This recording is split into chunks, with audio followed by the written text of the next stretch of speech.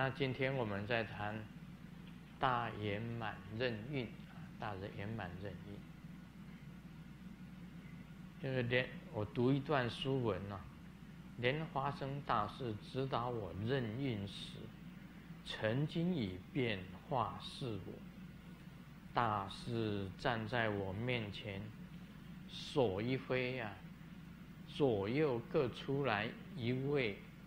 莲花生大士，加起来就有三位大师。三位大师再向前后一飞，在原来三位大师的面前面出来三位大师，在严大师的后面又变出三位大师，这一下子就变出来九位莲花生大师。再来就变成满天空的莲花生大师。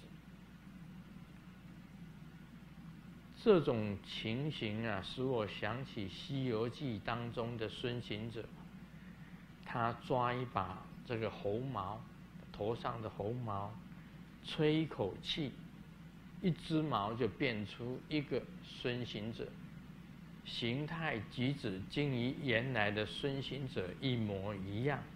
而且可以任行做独立的事情。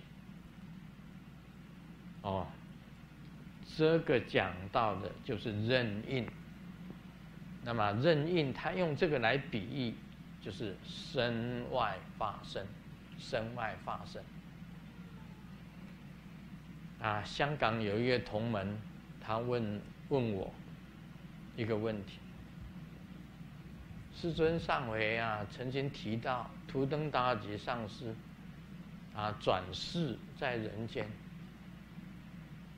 那么有一次啊，这个师尊在法会里面又讲到，哎，图登达吉这个上师啊，图登达吉上师又来到我们的会场，啊，请示师尊，这样子算。是不是矛盾？他已经转世了，图登达吉上师已经转世了，那怎么他又来到我们的这个护魔法会的会场呢？这不是矛盾吗？